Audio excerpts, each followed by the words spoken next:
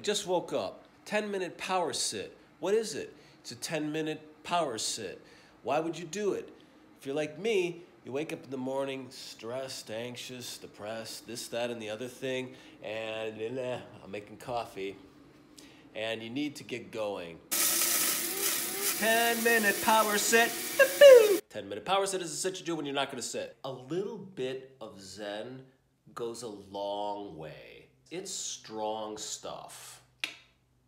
Like this coffee. Okay, I'm gonna shave my face and wash my booty, and we're gonna do this thing. So, the 10 minute power sit was first taught to me by no one because it's not a thing. Great thing about Zen meditation is that it's always the same whether you're sitting for 10 minutes or for three hours. You always have a North Star to turn to. No matter how crazy your mind's getting, no matter how wild and out of control your life is, the practice more or less always stays the same. Okay, so first of all, here I am, I'm at my mom's house. She is a hardcore Catholic and needless to say does not have a Zafu meditation cushion. What do I do? Well, luckily I have pillows. I just have one pillow here, which I put between my legs when I sleep at night because I'm an old freaking man with knobby knees. I have a second pillow here, which I simply fold in half. Wouldn't you know it? That's all I need, okay? I always say, you only need, do you need an amazing enlightened teacher to sit meditation? Do you need a massive Sangha with lots of people to show you along the way? Do you need to be a different person who had better karma and was born in Japan and happened to find their way into a monastery at an early age? Do you need all these things in order to sit meditation? No, you need two things lungs and an ass. Lungs to breathe through and an ass to sit on. That is all you need to meditate. It's great. Okay, okay. So, Your legs are crossed, ideally. If you can't cross your legs, you got bad legs, you got bad knees, no problem, sit on a chair. Normally you cross your legs. You can do half lotus, which is your um, ankle up on one thigh like this, your foot resting on one thigh, either side, or you can do full lotus, which is both feet on both thighs. Ooh, I'm feeling that in my hips. I haven't done full lotus in a while, but it is kind of the most solid position I've ever found to sit in, if you can do it. If not, whatevs. You can do Burmese as well, which is just your feet crossed like this. I don't know if you can see it. Um, just kind of crossed comfortably. It's important to have your knees touching the floor. You don't want your knees pointing up in the air because that puts tension on your sciatica and it's just not a very stable position. And as your body does, your mind follows. Okay? What do you do with your hands? Well, there are different mudras you can do. Lay your right hand on the bottom, line up your knuckles, lightly touch your thumbs, and put it to your diaphragm. This is a very classic zazen sitting position. Ooh, it feels good. A friend who does Tai Chi told me this ties ties your chi together, your energy, and, and, and folds it up nicely in a circle here at your waist. I don't know about that, but it is comfortable. Or you can just take your thumb, grab it with your right hand, and gently rest it against your diaphragm here. No problem, that's what I do. Or you just put your hands on your thighs, okay? So you sit upright, not stiff, not rigid, but not kind of slack and unconscious. You sit upright, your spine, you should be pivoting your hips a little bit so you've got a nice pivot in your spine, a natural curve in your spine. In an ideal world, your nose is parallel with your diaphragm or your belly. Your eyes are located with a soft gaze, so you're not staring, but your eyes aren't closed in Zazen. We keep our eyes open because we're not pushing the world out. We're not going to special interior states. The world outside of us is part of our Zazen, so we keep it in the picture, so to speak. So your eyes are forward with a light gaze about three feet in front of you. You take a few breaths. This is regular Zazen meditation, not our 20 minute, a 10 minute power sit. Inhale deeply into the diaphragm. So it's not chest breathing. Chest breathing is shallow, and you do that when you're puffing yourself up or you're angry or you're scared. Relax, go down into the diaphragm of the belly or the hara, which is about an inch below your uh, belly button and an inch deep. There's a certain type of hara breathing. Someday we'll talk about that. But the important thing is relax your diaphragm, relax your belly, please. Your, my belly is always tensed. I think because I'm getting a little bit of a middle-aged pouch, and so I hold it in. Breathe deeply. Hold your mudra. You breathe through your nostrils, tongue on the roof of the mouth, lips shut, gently touching.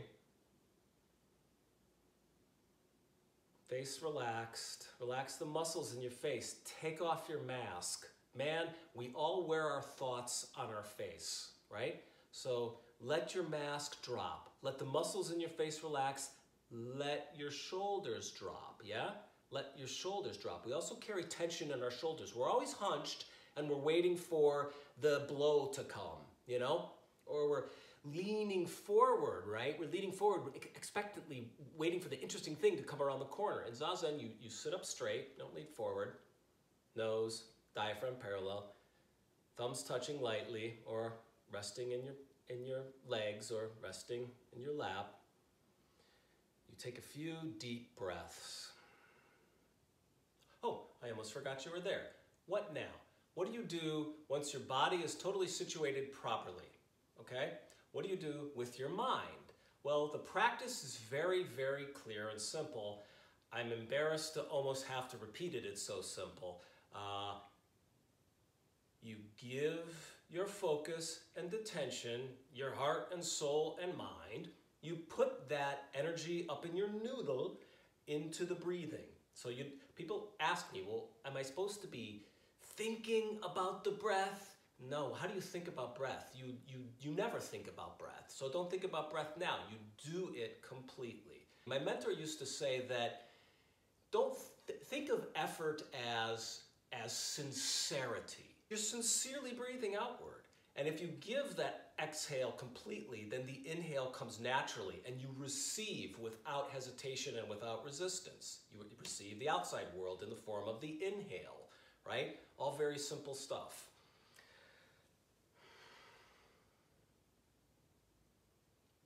Now the mind is going to wander. Maybe, maybe before you even get through a quarter of the first inhale, your mind is going to start thinking. Okay, it's like a it's like a kid that that you can distract for like two seconds when you're talking to them, but then they're back to whatever the problem was they were having. Okay, and the practice is when you start thinking again, sooner or later, your natural intelligence or awakeness or Buddha nature or consciousness or wisdom, whatever you want to call it, the, it's going to let you know that you were thinking. The practice now is to take the knife off the kitchen table and slit your wrist. No, that you do not beat yourself up. You don't have to think about how you didn't sit right.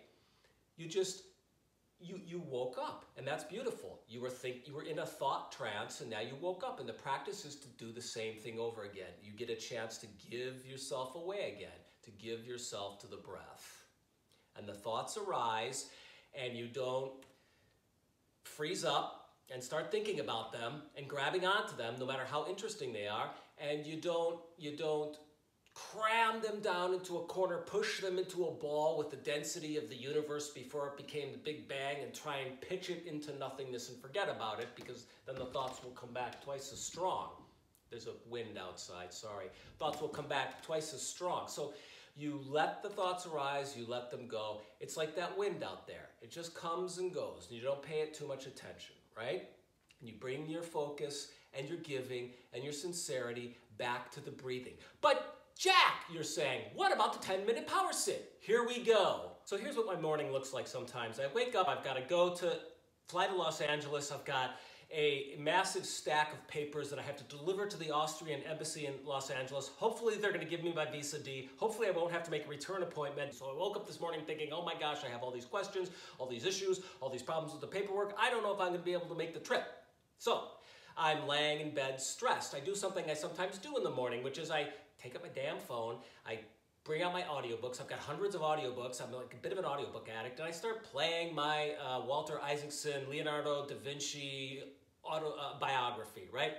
I'm sitting there listening to it, and this sort of thing drives my girlfriend crazy. She says to me, Sleep is sacred. When you come out of sleep, you do not pick up your phone and start diddling with it and pumping words into your head. She's like, You are an information addict. Well, it's kind of true. So I was doing that this morning, and it was early, and I found myself thinking, You should probably sit. And then I thought, well, if I'm going to get up and sit, then I should probably go and do all these things that are making my anxious mind go crazy. Because if I sit, I'm just going to think about all these anxious things and my mind is going to go crazy.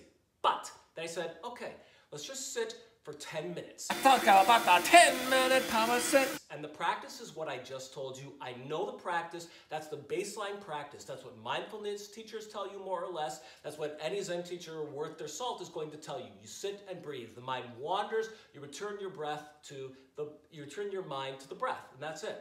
Over and over and over. But we experience the practice at different times in our life in different ways. And maybe a lot of you are like me, you're doing a home practice now. You're doing 20 minutes in the morning and 20 minutes in the evening, which is a great practice. 25 would be even better. 25 minutes is a full sit in Zen Buddhism. If you can do 25 in the morning, 25 in the evening, you're gold. But we can't always do that. So I thought to myself, I, I can't sit. My mind is going too crazy. And I thought, just, just 10 minutes, just 10 minutes. So I folded my, my um, uh, pillows, I wrapped my blanket around my naked body because I sleep in the nude, and I did my 10 minute power sit. Now, what is this? Well, I sat, I did my breath. I've been sitting for a long time and I've noticed something.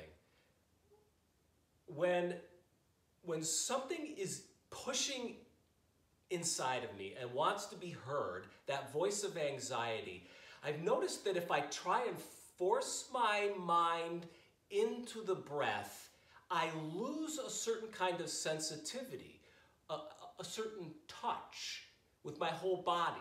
It's like the part of me that wants to come forward has to be pushed back because I'm doing this activity of breathing. So I let the voice come up today. Now, this is not like standard Zen practice. This is a little bit more my personal thing. Sometimes there's, there's something going on inside that I need to listen to. So I just let it come up. This is not the same thing as thinking, okay? Thinking is always wrong. That's what I was taught, and more or less I think that that's true. If you're thinking on the cushion, it's not helpful. Your mind is, is, is distracting your body and your body is distracted from your mind. I mean, I was taught that in Zazen we unify mind and body and surroundings in the activity of sitting, okay? So this morning, I let the thought come up and I could, the anxiety, and it was just a feeling. And I, and I, and I focused on it in the same way that I would normally focus on my breath, not on the thoughts not in the anxiety about do I have all my passport photos? Is my girlfriend's passport photo of her new passport or her old passport? None of that. Okay, it was just the feeling. And then I got to look at it briefly, or, or it presented itself to me briefly. And there's something that happens when that natural awake state, through that, you discover what you're thinking and feeling. Okay, normally I would just be caught up in the anxiety. I would rush out of my bed, come into the, my mom's living room, and start doing my tasks for the day. And I wouldn't know that the energy or the engine behind that task was an anxious, nervous energy, coloring everything I was doing, everything I was saying, and all the work I was trying to accomplish for that day. It's very brief. I told you in the beginning of this video that my little secret, and I want to share it with you, is that in my experience, a little bit of Zen done sincerely and with focus and as part of a much bigger picture of a consistent practice over a period of time where you start to get to figure out what it means to practice, if you do just a little bit of it, it goes a very long way. So just in that moment, it was just, I was just gonna do a 10 minute sit. I actually did 20, so it's a 20 minute power sit, but I like 10 minute power sit. Um, sounds like something Tim Ferriss or Brene Brown would push on us. Um, just do a little bit and you can, it's like taking a snapshot. Oh, that's what my inner life is like today. And once you see that snapshot, the energy behind it dissolves. It's like a ghost when you flick on the lights. It disappears, okay?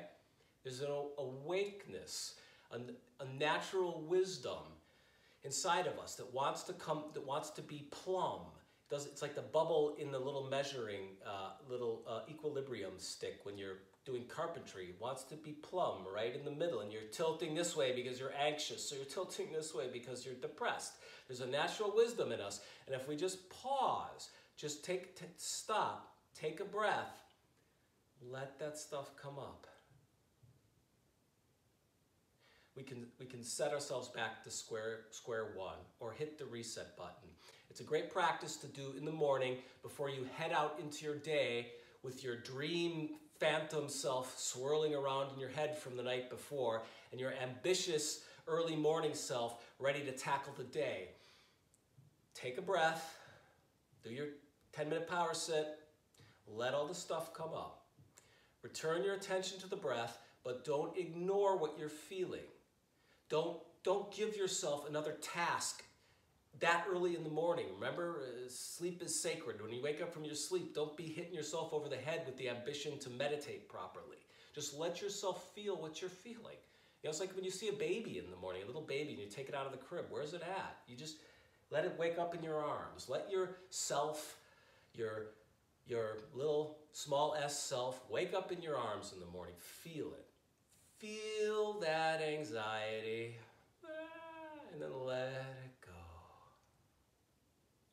and I know it's still down there somewhere, but I'm usually a little bit more ready to face my day now. Hey friends, I hope you enjoyed today's video. Um, I offer all these videos for free. Uh, if you can help out and you want to help out, I'd really appreciate that. Um, I have a Patreon page under Shozan Jack Haubner where you can go and you can see videos and blogs and um, uh, different essays that I've written. I'm working on a book right now, and these are kind of like test runs for chapters for a book. So I put those up there. Um, I also have a PayPal link where you can donate to. Uh, like I said, I offer these teachings for free. Um, but if you want to throw a little something in the begging bowl, that'd be great. Take care.